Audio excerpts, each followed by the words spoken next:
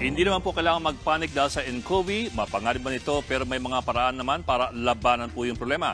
At ang pinakamahalagang panlaban dyan ay kaalaman tungkol po sa virus. Ang virus po ay iba sa bakterya. Wala pong gamot para sa virus, baka mamaya po kasi bentan kayo ng kung ano-ano. Ang pinakamaiging panlaban sa virus ay pag-iwas at pagpapalakas ng katawan. Ang virus po kasi ay parang para lamang isang pabrika. Ito po ay ribonucleic acid or RNA na ang gagawin lamang ay papasok sa inyong cell at gagawin itong pabrika ng marami pang virus. Kumbaga parang replicating machine lamang po. Kaya po ang mahalaga sa lahat ay alamin kung paano po ito nakukuha at paano po ito maiiwasan.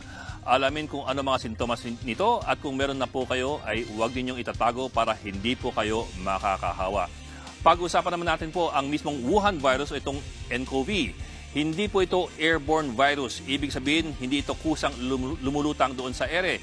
Kaya't hindi po makakahawa ang Wuhan virus sa pamamagitan lamang ng pakikipag-usap.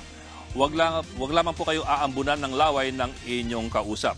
Ito ang delikado, yung bahin at yung ubo.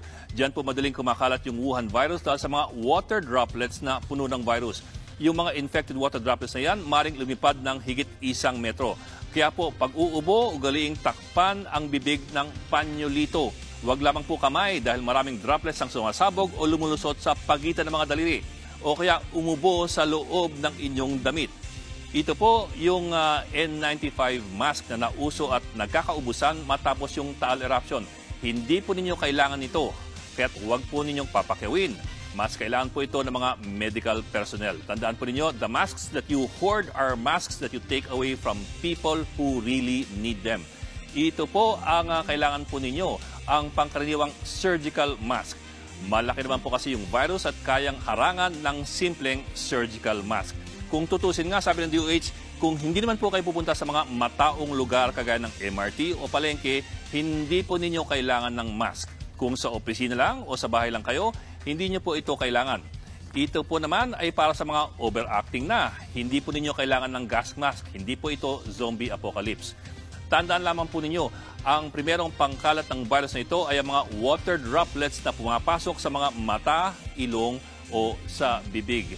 Yung pinag-usapan po natin kanina ay yung direct method ng pagkalat ng virus. Ito naman po yung indirect. Halimbawa, kung hinawakan po ninyo ang kamay ng isang infected matapos niyang hawakan ng kanyang ilong, mata o bibig, madali po ninyong mailipat ang virus sa inyong mata, ilong at bibig. Ang paghawak sa mga bagay na hinahawakan ng marami kagaya ng estribo ng bus, jeep o sa MRT o sa mga escalator o yung paghawak sa mga doorknob sa mga matataong lugar. Kung mamalasin ka, baka hinawakan po ito ng isang infected na tao. Para po malinaw, kailangan ng virus ng buhay na host para magtagal ilang oras lamang po ito mabubuhay sa isang bagay. Sa kaso po nitong coronavirus, hindi pa natin alam kung eksaktong ilang oras yan mabubuhay. Pero sa ilang oras na yon, maaari po ninyong makuha ang virus na ito at malipat sa inyong sarili. At para din po malinaw, ang coronavirus ay hindi po tumatagos sa balat.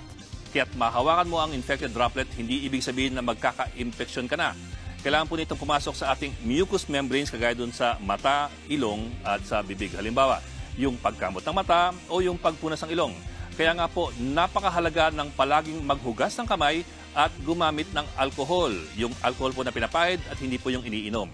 Sa ngayon po, yung kumpirmadong may NCOV at yung mga pinagsususpetsan ay nakakonfine doon sa San Lazaro Hospital ayon po sa DOH.